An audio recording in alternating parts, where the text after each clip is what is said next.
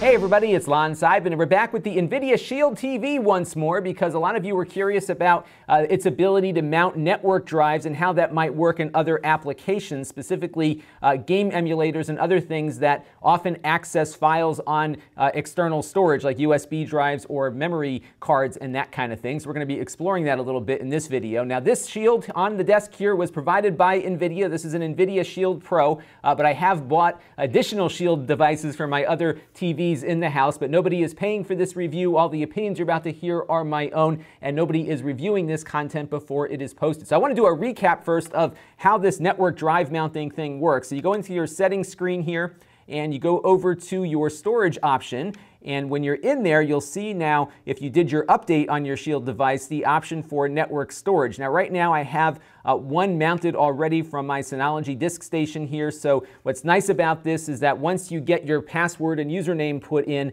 every time you boot the Shield up and it's on your network, it's going to reconnect to that uh, device automatically. So if you do set paths to uh, certain storage locations in an app, it will find it again when you reboot the Shield. So that was a nice thing to see that they thought of that. And what I'm just going to do here is to show you how it works when you want to connect to something. So I have my WD MyCloud here in the house. I'm going to connect as a guest. Uh, so that way we don't have to go through the username and password rigmarole. But if you uh, wanted to connect to a username and password protected directory, you would just go ahead and put that in there. Uh, this does take a little bit of time to get that connection established. Once I found it was connected, uh, it then works, but it does take a little bit. Uh, so don't get nervous if this takes a little bit longer than you think it might otherwise take. So we're just going to let this uh, do what it does, and when it's done, we'll come back. All right, so it takes about a minute or two for everything to get connected, but once it does, you can then just verify that it worked by going into your network storage option here. So you can see now we have two drives mounted and I've got the WD MyCloud now sitting next to my disk station from Synology and uh, we'll take a look here and see everything that's on the WD that's accessible to our Android TV here and here's all the different folders that our apps will be able to connect to. Now when I uh, did the Plex video I just tested very briefly uh, the Mega Drive emulator called MD.EMU. It's the Sega Genesis to us here in the United States. There is one right back there as a matter of fact. Uh, and if we go into that emulator real quick you can see uh, that the uh, Synology disk station is accessible to us and I'm going to just show you up at the top here uh, this is where you can see the directory. So we've got it in storage, disk station, which is the Synology drive, and then in my emulators folder, uh, Sonic the Hedgehog and a bunch of other games are in here. So I'm just going to load up Sonic the Hedgehog 3, and what's going to happen is, is that ROM is going to get pushed over the network to uh, the device here, and it loads up very quickly. The nice thing about uh, the way these emulators work is that um, they often just load the entire ROM into memory, so there's not a lot of timing issues that you're going to have to deal with here. Uh, but I did notice that when I I tried to do other things with the Sega Genesis emulator, I ran into some trouble. So let me get out of uh, the Sonic the Hedgehog game here real quick, and we'll try to load up um, one of the uh, Sega CD games I have accessible to me. So I'm going to go here to Load Game. I'm going to back out a directory here and go over to uh, the Sega CD directory that I have set up in there. And if we go in there, uh, I think what I'll do is pop open NHL 94, and we'll just uh, select that.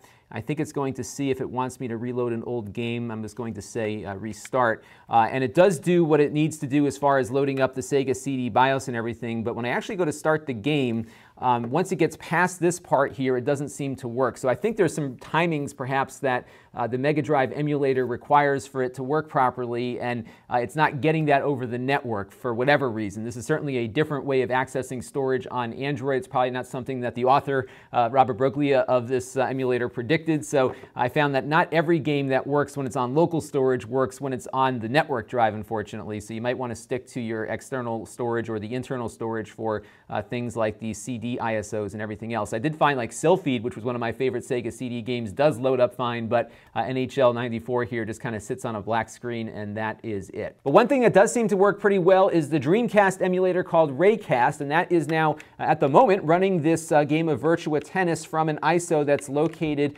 uh, on the network drive we connected earlier on the Synology device. So uh, it seems to be uh, working fine for this emulator, and some just seem to have issues. So I think it's really going to depend on the individual emulator, because I can pop out of here, for example, uh, go back over to maybe Propeller, Propeller Arena, which was a unreleased Dreamcast game, which is actually kind of fun. Uh, and that one loads up just fine over the network as well. So again, I think this is really going to just be dependent on what your particular application is expecting. Uh, some things are going to work, others probably won't, um, but you may just need to try it. Uh, the one thing that does, though, work very well is Plex, which is what we demonstrated in the last video. And that's what this feature was really designed for, was to be able to uh, connect over the network to uh, network-attached storage devices and other stuff uh, to get those media files accessible to the Plex server that runs on this. And that, of course, works great. Uh, but if you are having trouble with your particular application, I would write to the author of that and see if they might be able to make some adjustments to make it work. This is Lon Seidman. Thanks for watching. This channel is brought to you by my Patreon supporters. If you want to help the channel, you can by contributing as little as a dollar a month. Head over to lon.tv slash Patreon to learn more. And don't forget to subscribe. Visit lon.tv slash S.